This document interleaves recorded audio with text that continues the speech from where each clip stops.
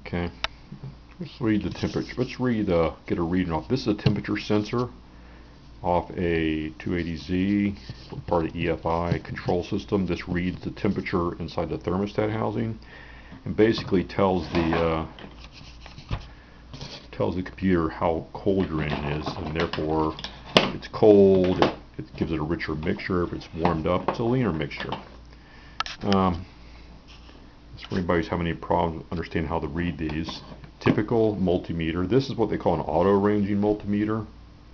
That means I have a ohms setting here which I don't have to put a range on. It's going to automatically define what range. Some cheaper multimeters might have you know like 0 to 1000 or 1k or maybe 0 to you know 10k or 100k all that kind of stuff. But hopefully if you get an auto ranger it's a little bit easier to deal with. You just put it in the ohm section first thing you always want to do is check your meter so we will go ahead and do that right now shorting these out 0.6 it'll go down to zero if I hold this tightly enough but basically we want to make sure that the thing is reading and that's an open reading okay that means there's infinite resistance there. There's essentially no connection between these two, and that's no resistance. We're su almost superconducting here.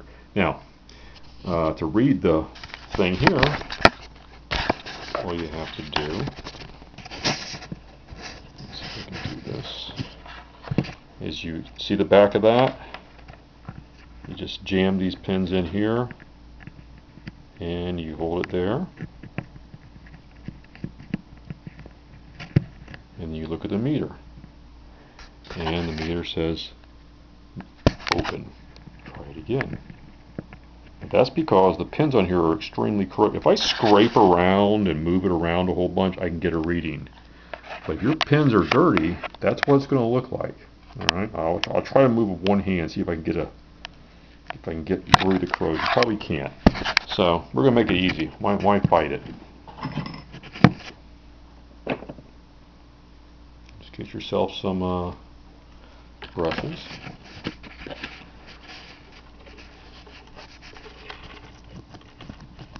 These are brushes used for cleaning paint guns, but I think they're pretty good for this too. Clean up as best you can. If you have some contact cleaner, that would help too. I don't have it handy sitting here at my desk, but there's all kinds of mung and goo. just from that little bit of cleaning right there. Yeah, but you would get a, an electrical contact cleaner ideally and cleans up nice and bright.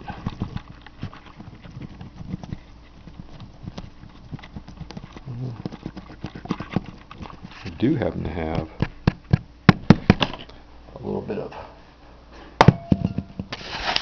this stuff handy. I'm not recommending it, but it's sitting here and it's handy, so there.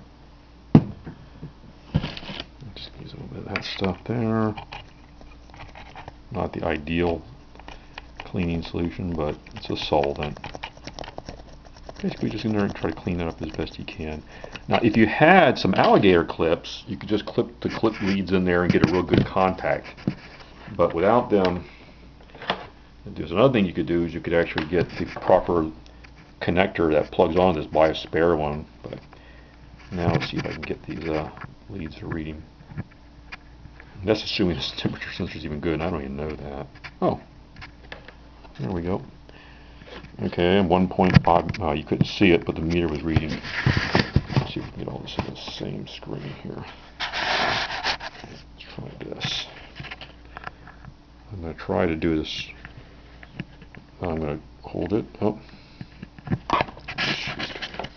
You're just going to have to trust me that I'm getting these things on this pin.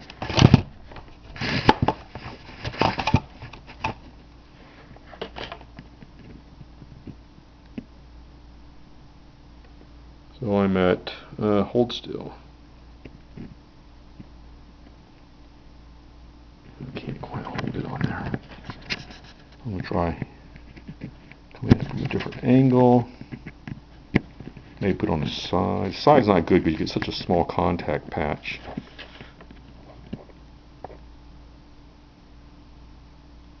That's a hundred and